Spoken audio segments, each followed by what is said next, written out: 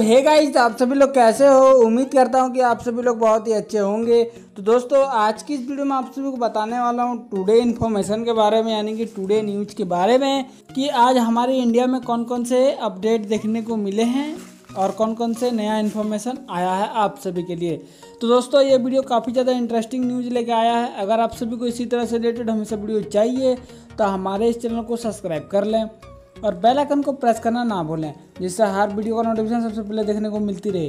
तो दोस्तों, सबसे पहले आप सभी को हम बता देना चाहते हैं कि आज साउमी के तरफ़ से finally Poco F one device के लिए जो अपडेट है M I Y twelve plus Android ten का, वो कंप्लीट हो गया है। यानी कि उसका टेस्टिंग है जो कंप्लीट हो गया है।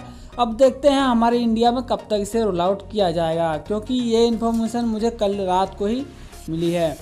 और जो यहाँ पर नया इन्फॉर्मेशन आया है कि रेडमी सेवन डिवाइस को यूरोपियन कंट्री में सामी की तरफ़ से न्यू सिक्योरिटी पैच का अपडेट देखने को मिला है, जो आप सभी को इस अपडेट में एंड्रॉयड टेन का सपोर्ट देखने को नहीं मिलता है।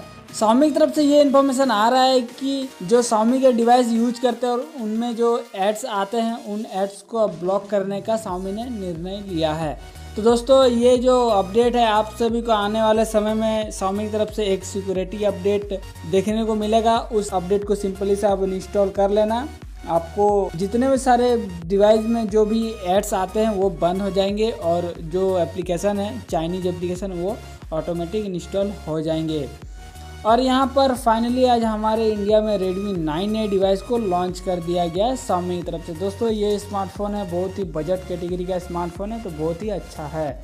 और उसके बाद ये इन्फॉर्मेशन यहाँ पर सामने की तरफ़ से आ रहा है कि एम आई वाई ट्वेल्व का जो अपडेट है, हमारे इंडिया में डिले होने का एक ही रीज़न है कि हमारे इंडिया में जो 118 एप्लीकेशन को बैंड किया गया है, जिसमें पबजी का भी नाम है, जिसकी वजह से हमारे इंडिया में एम आई ट्वेल्व का जो अपडेट है, उसे डिले किया गया है।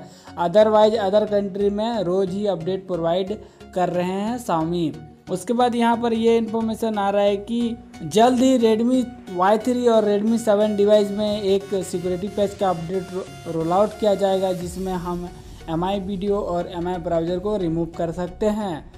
तो दोस्तों, अगर ये छोटा सा इन्फॉर्मेशन आप सभी को पसंद आया है तो मेरे वीडियो को लाइक कमेंट और शेयर कर देना। आज के लिए बस इतना ही। हम मिलते हैं नेक्स्ट वीडियो में। जय हिंद बंदे मातरम।